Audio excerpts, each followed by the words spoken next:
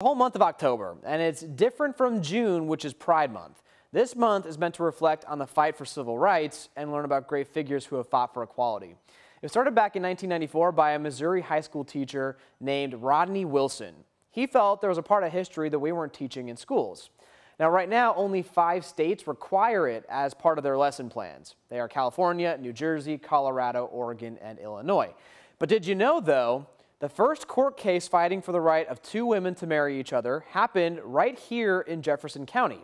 Back in 1970, marriage equality was still decades away, but activists here knew they were planting the roots for a better life for those who come after them. So for LGBT History Month, our friends at the Filson take us back in time with this installment of our series, This Month in History.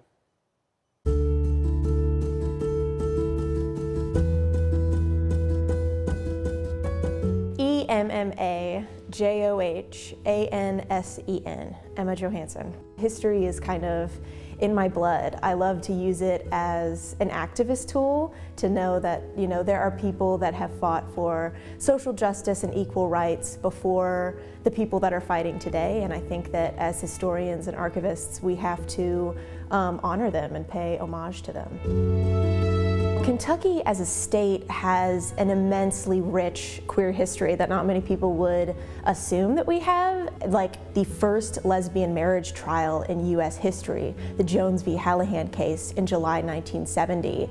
Uh, on July 6, 1970, two women under the pseudonyms Tracy Knight and Marjorie Jones went to the Jefferson County Clerk's office to ask for a marriage license. There wasn't any law that said that marriage was between one man or one woman, but the clerk still denied them their marriage license, and they took it to court twice to no avail. But even though the courts didn't um, approve of their marriage, people within the movement, they're like, you know, the long arch of history bends towards justice. This is like a, uh, a, a, common thread within a lot of social justice and equal rights movements um, in that we might fail now, but years down the line, it will set a precedent for future activists and future people that want to fight for the cause um, because we know that our cause is just.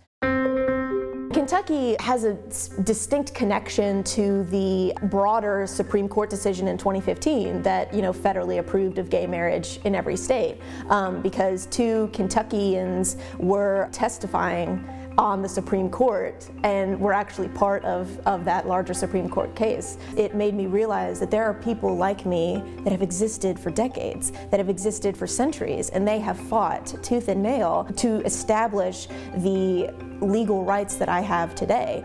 And we need to recognize the people that came before us, learn from them and their strategies and organizing, and to be a better ancestor for the people that will come after us.